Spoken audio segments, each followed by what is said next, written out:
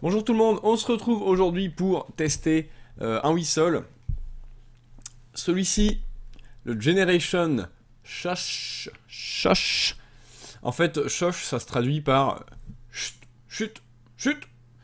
Euh, donc comme son nom l'indique, c'est un whistle qui va être fait pour avoir un volume sonore très peu élevé. Et en fait, on peut, c'est le whistle pour s'entraîner chez soi le soir, tard le soir, voire la nuit. Vous allez voir que c'est assez sympa. Euh, alors, ce whistle, en quoi euh, il est différent d'un Generation de base? Voilà, ça c'est un Generation de base qui traîne chez moi. Et ça c'est le Shosh, donc avec le bec vert. Qu'est-ce qu'on voit comme différence tout de suite? On voit euh, surtout la plaque en métal au niveau du bec. Il y a une sorte de plaque de métal qui va en fait couper le souffle moins, moins violemment qu'un biseau normal. Ensuite, euh, l'autre différence qu'on voit, c'est qu'à l'intérieur du bec, je sais pas si on va voir, mais euh, l'intérieur du bec est rempli avec une pâte. Bon, c'est un tweak, euh, une modification assez fréquente sur les whistles. C'est vrai que ça améliore un petit peu le son, je sais pas pourquoi. Peut-être que la colonne d'air est plus stable ou vibre mieux. Il y a aussi eu un petit ponçage là du tube, histoire que le whistle soit accordable plus facilement. Voilà. Donc euh, voilà. En fait, euh, cette petite lamelle de métal, elle est carrément... C'est dur à montrer. Ça va pas être facile. Elle, fait carrément le, tour, enfin, pas comment dire, voilà. Ah, c'est toujours ces trucs de mise au point. Ça veut pas, hein. Bon. Autrement, euh, je prendrai une petite photo, une petite vidéo pour montrer. Voilà, là on voit pas mal. Ça fait carrément le tour en fait du, du, biseau. Donc voilà à quoi ça ressemble. Donc c'est un volume sonore très bas. Euh, ce que je vais faire, c'est que je vais vous faire une comparaison tout de suite avec euh, mon Killarney, déjà un whistle assez doux, hein, le Killarney.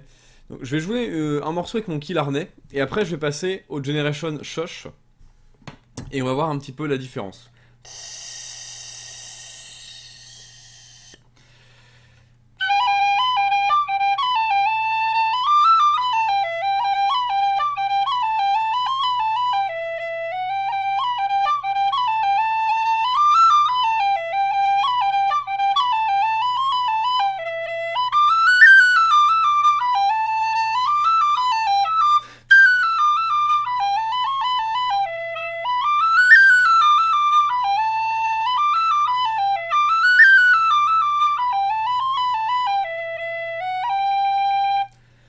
Voilà avec le Killarney qui a un whistle qui a un volume tout à fait normal.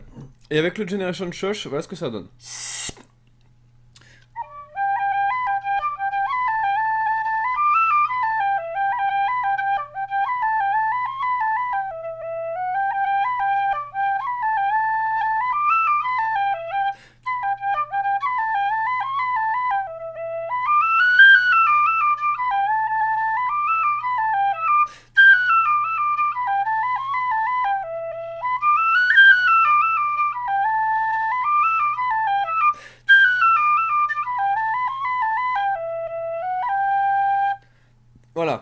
Donc on voit tout de suite que le volume est carrément moins euh, élevé. Et ce qu'on voit aussi, c'est que le son, il est quand même un petit peu altéré. Hein.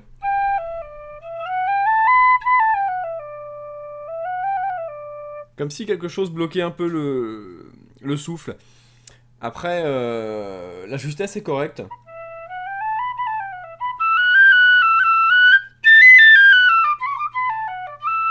Les aigus sont quand même assez... On va faire une petite comparaison comme ça.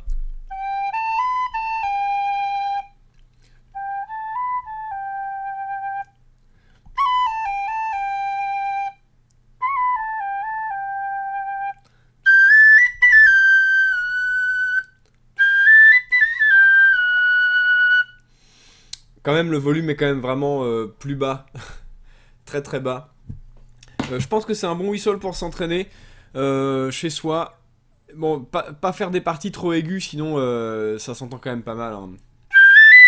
mais pour des airs graves.